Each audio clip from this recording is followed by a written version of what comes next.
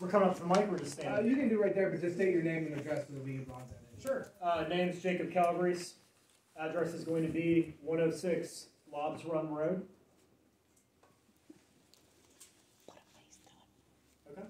Uh, so I came here tonight actually to, bring up one uh, major concern that we have. Uh, through this presentation, I actually found several more, so I'm going to kind of run through three main ones here. Uh, the first is going to be the contamination of water. Uh, so we live about a thousand feet from where this well pad will be going in. We're on spring water. That is the primary and only water supply at our house. Uh, we have a 16 acre recharge, which I have from the DEP, uh, and the well pad is going to be in that area. So my main concern, obviously, is contamination of our water supply. My pregnant wife, my soon-to-be born child, um, this is a major concern, right? Uh, so I would like to know what kind of safeguards, and, and as we just heard, right, there's not a active cadence for testing. It is on complaint basis. And so if something is to get into the water supply, it's an after the fact, right? It's a, a posthumous sort of recovery. I- It does not make me feel very safe knowing that there is the potential of contamination. And only upon my complaint will that then be investigated. Um, the second concern that I've now had is that I did not realize water would be being pulled out of this site. Uh, last summer, obviously, we had a bit of a drought, right? Our water supply was quite low as it was. Uh, so I'm a little bit concerned about pulling more water out of our recharge area. Again, this is the only serviceable water that we have for our property. Uh, so that is a concern to me. The final concern that I have now also called out, we are the property west of the pad, uh, where all the sound is being directed. Oh boy. Uh, we are, again, about a thousand feet. Um, that is half the distance that we are to the Macintosh compressor station. Now, I don't know if that has the same sound approved levels. Um, what I can say is that we can noticeably hear the Macintosh compressor station. It is loud. It is loud in our house. This is half the distance. Uh, and again, right, that opening is now aimed at my house, which I've just learned. So, uh, all of these concerns, right, I, I kind of hope we can touch on. Um, thank you guys for coming today. I appreciate the presentation, of course. Thank you. Todd Kleiner, EQT. Um, I gotta address your, your comments. Um, if you have a specific concern, uh, specific, you know, if you've got a spring, it's within a thousand feet, that's something that we definitely, our water folks wanna know about. And if you've gotten your, your notice for the water supply, uh, you know, write that in on, on your, your notice when it comes back so that whenever our geologists take a look at it, they know that there's this additional concern. Yes, uh, Yins have actually already been out uh, Oh, and okay. done uh, GPS coordinates for all of our spring property. Okay, Uh, but again, right, that does not address my main point of contamination. okay. Um, So is your elevation above or below the well pad? below. Okay, below to the west. Um, thought that looked like that was above, but no, I let's, actually let's have talk a, about it. uh, map from the DEP. Uh, Don, Don Hegberg, I believe is his name. Okay, Came out yep. last summer and I have the sixteen acre recharge mapped out, again, going up into the pad. Yeah, Don's the guy that handles all the complaints for the DEP whenever they do come in. So Um, How do you get in touch with her? That's my complaint too. The, the con- the contact number for the DEP, you know, I know it off the top of my head, it's Southwest Street is four one two, four four two, four thousand. Oh, Um, but, I mean, it's on every piece of paper that we, we send out. I There's think con- about two years ago, tested mine. Rich talk, Keep, to keep things, yeah. rich talk. Now, it's my concern too. My spring's the only water source I have, and I'm very close to five hundred foot from the pad. Now, they come out two years ago, tested me, and I heard nothing since. So his concern and my concern are pretty similar. And and on the, on the, on the delay in the water testing, there is an answer for that. And basically, we were gonna develop this pad, then we changed management, and then the development plans changed, so now we're. Now you're starting on it when they coming out testing it. I'll, I'll look into that. So, I mean, who's- the date, I don't know, cause I don't coordinate that, but, So we're responsible for monitoring it. And like he said, if something comes up, what are we at? What do you mean, what are you If it's contaminated, well, we- uh, how do we, uh, co- uh, resolve that? We You have you no, contact us or contact DEP. and how soon are they gonna be there? I think, I think there's a. There's a 20 legal requirement that we need to replace your water supply, uh, I think within forty-eight hours. And on your second point, um, you, you're worried about water being taken from your spring, that's, that's not how this, this works. What we have with the Department of Environmental Protection is a water management plan, so any water source we use has to be approved as part of this plan. Um, so in this case, when I say a municipal water vault, what that is, the main water line running through the area, we'll put in, think of it as an underground hydrant, and we'll take water there. Um, we do have sources like, say, the Monongahela River, we can pull out of the Monongahela River, but the, the volumes, what we pull with it has to be an approved volume, we can't just take a limited amount where, okay, we're pulling from the lawn, we're gonna take seven billion gallons, it, it doesn't work like But are you developing water on the site? No. There's no water development on the site. When you say water development, you mean like Are you drilling a well? No, no, no, no, no. And if we, if we were, we would have to get approval from DEP to do that. And in my year, I've been doing water management plans for ten years. I can think of two wells that were in Jefferson County that we did, and they were such low volume producers, it, it didn't work out It's for a us. low volume area, hence my. Right, right, It's, so yeah. it's, it's, this is clear, John. I mean, EQT is not gonna be pulling any, uh, surface or groundwater from a pad or anywhere near the pad, correct? Correct. The, the nearest water source is the municipal mall that I touched on earlier. Leah Fink. Uh, we have the property right across from Richie's, which is. Your name, please? Leah Fink. And we have horses that, uh, use the creek that goes through. We have a well. Keystone contacted us twice. We filled out the, the surveys. We turned it back in. They said they were gonna come out, gave us a date, never showed. Rescheduled, never showed. Was Very that con- Keystone that didn't show? Yes, Okay. very concerned about the water supply. Now, the well, the Mama Bear well out by Mingo, apparently all their water was contaminated, now they will have containers. That, that, that's new to me. I don't know, because that would be a legacy Rice site, so I don't know. I mean, I can't speak to that. Is there somebody that can to help us all feel more comfortable about what's gonna be done with water monitoring and how that's going to be addressed? Cause We have we no have access, animals we wanna protect, we have people we wanna protect. we have no Yeah. access to public water. Our You're- council should be protecting our citizens. Your rights are spelled out very clearly in the oil and gas regulations, that it's our responsibility to prove that we didn't impact anything. Well, If if you we don't do, show we're up- responsible for, if we don't show up and sample it, then if- if you made a complaint after we moved, uh, you know, put the bit in the ground and hadn't even touched the water, it would be shown to be our, our fault, basically, is how the, the Well, regs how are can they do that? Cause they know, they do not know where the aquifers are. They don't know where the water's coming from, so how can they say you didn't contaminate it? Or you did contaminate it?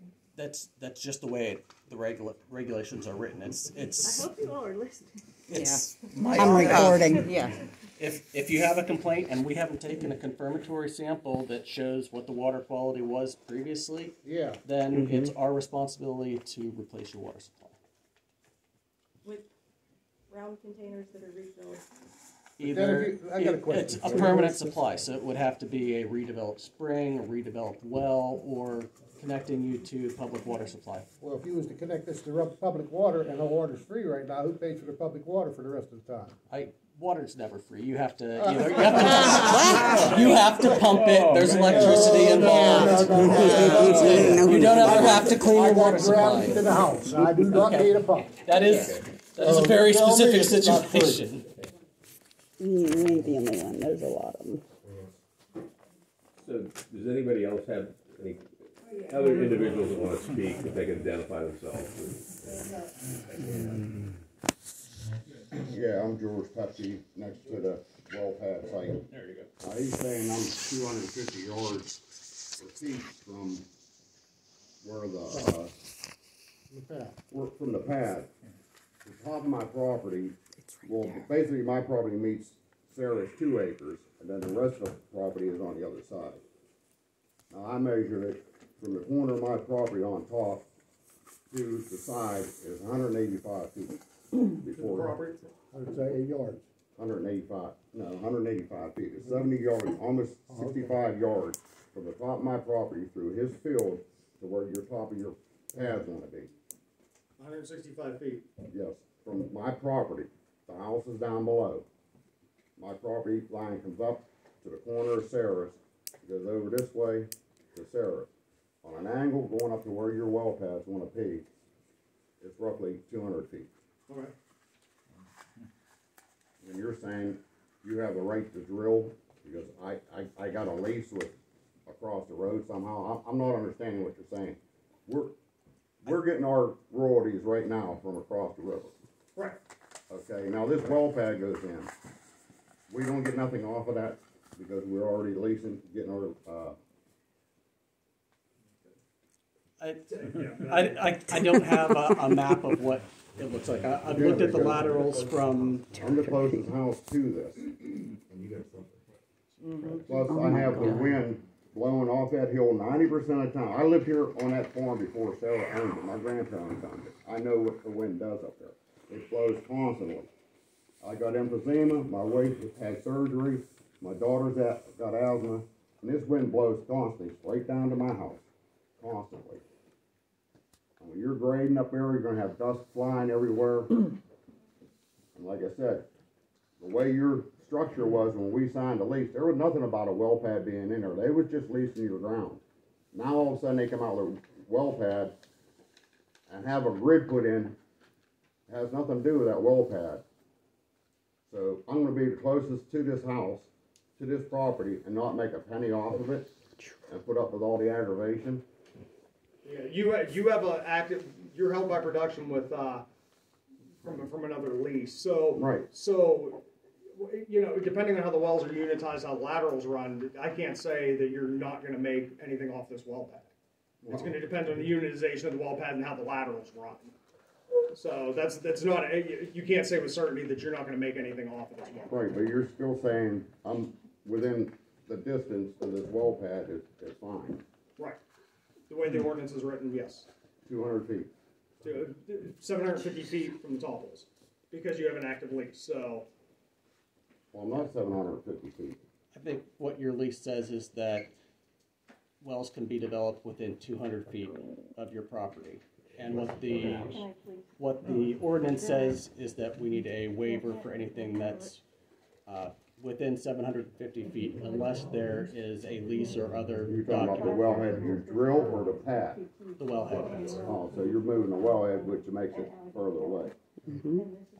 Now, what about, like I'm saying, about all this dust blowing, I mean, like I said, I got Family Matters, and I'm the closest one there, and that wind blows off that hill straight down to my house. I, I, I can't speak to the direction of the wind, I have to believe you, but I, I don't know how to answer that for you. Well, you're not protecting the community then, if, you know, if you're gonna let a wellhead go in there, and I'm telling them how the wind blows and everything, well, I can't tell a wind. What do you do for dust control on your access road? Right, they did dust. Dust you know, control on the Well, access if, road. if, d- does, you have this gentleman's name? Did you get it? Rich Stoff. Yeah, I'm up there.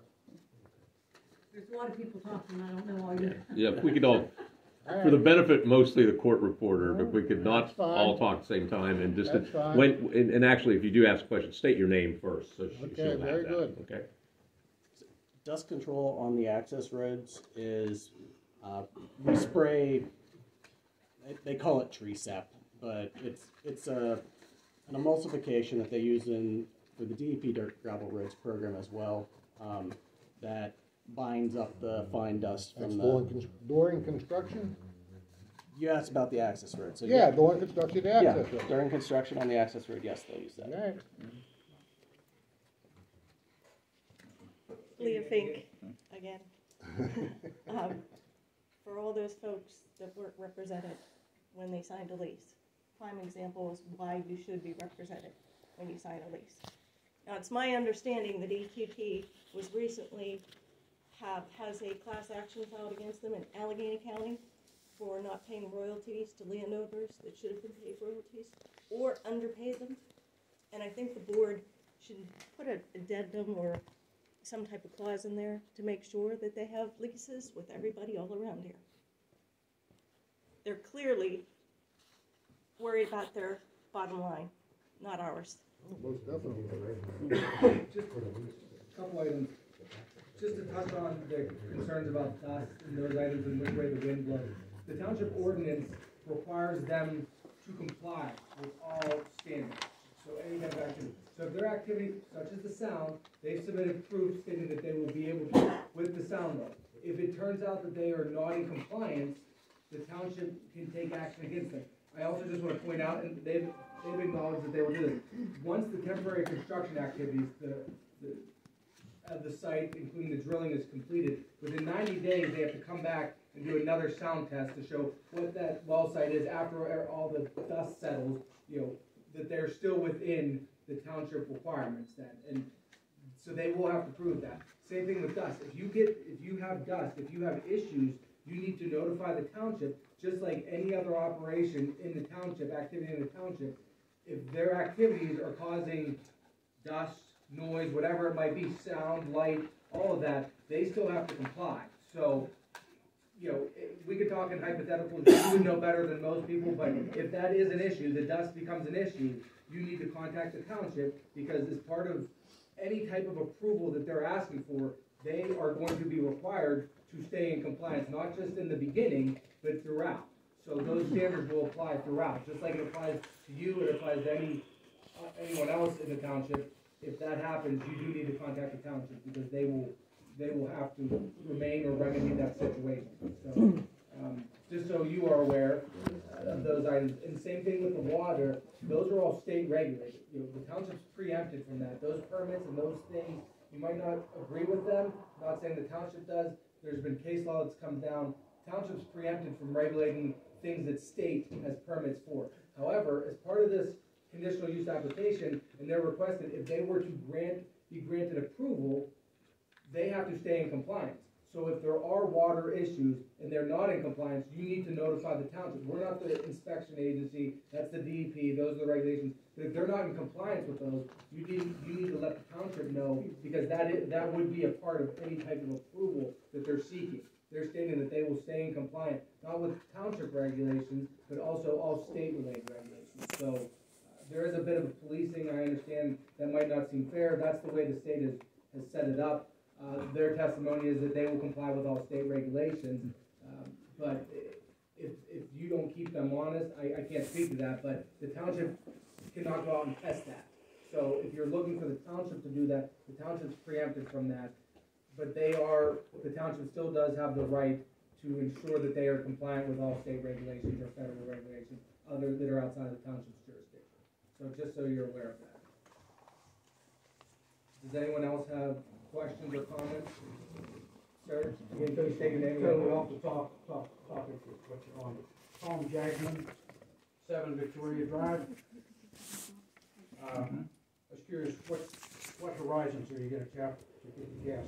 Marcellus. These are, these are proposed to be Marcellus, Marcellus no wells. Utica, yeah. no- No, just Marcellus wells at this time. Okay. Uh, Will the gas that you harvest be directly usable for pipeline gas, or will it have to be treated before it goes into the pipelines?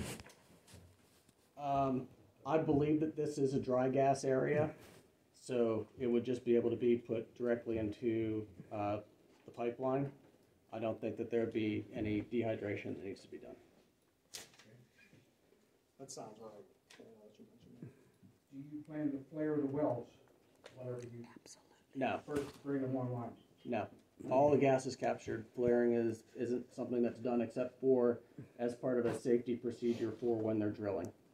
And that's not, that's, that's, they have a, a flare that captures, you know, potential gas or have a, a place where it's diverted. It's not something that's done as part of completions. And, and how long do those flares typically last, Todd, do you know? Oh, and it's not a big flare. It's, it's a device they call a flare that's got a little mm-hmm. propane thing, jet that sticks out and every now and then it might puff, you know, something like that. But that's only during drilling, right? Yeah. There's, it's, this isn't like you see pictures from Texas and the Southwest Right, with yeah. permanent large flares. Once you're in production, there's no flaring at all. Correct. I guess I'd be talking about the period right after the well is completed, and you get a big surge of gas. No, that's, that's all collected and put in pipe. Uh, Going back to the well pad, and that, or is that gonna be lined with a rubber liner, plastic liner? Uh, And are there any ash products, like fluidized buster ash, or anything that you're gonna be using in construction of that pad? No. They're all gonna be native limestone? It'll all be limestone, the gravel. The, uh, containment will be placed on top of the gravel pad. So it's, there's not a liner that goes underneath of the gravel. It's, it's all lined above the gravel. That way, it's easier to inspect. You can tell whether there is a leak or not or a problem that's going on. Um, we don't rely on, on sub, subterranean liners. Is there any monitoring wells drilled on the site or takes you to the site? No. Leah Finnegan, is there any Uh, he's- I think he's notification? still in the middle of, Oh, I'm sorry. I'm sorry. Is there any notification of any, to the residents of any water contamination or hazardous material waste? If there's a, if there's a release, um, in our emergency response plan, there is, uh, it shows what the, uh, what the notification ranges are. Uh, I can't speak to those specifically, I haven't looked at those in a while, but we are required to provide those emergency response plans to the township and to, uh, emergency responders in the area prior to constructing the well site. Not the residents. I, they're available for public review, it's, it's a big document. You won't No. get notified. Just say, no.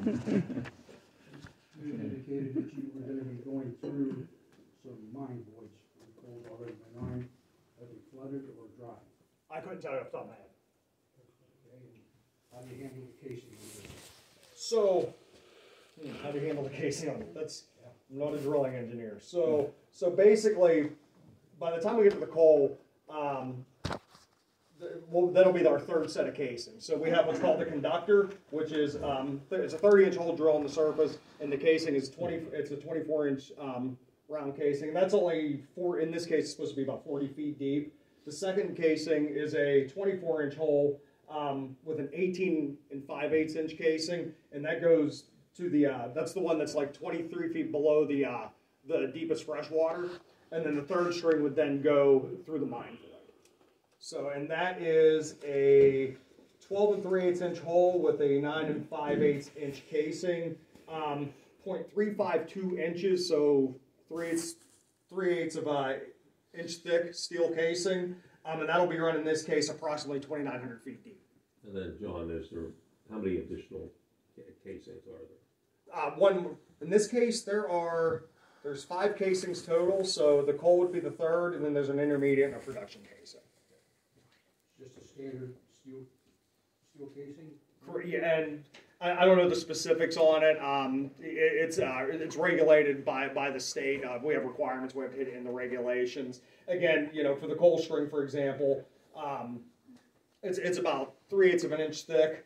Um, so so yeah, but it's it's it's it, it's it's governed by the regulations of the state too.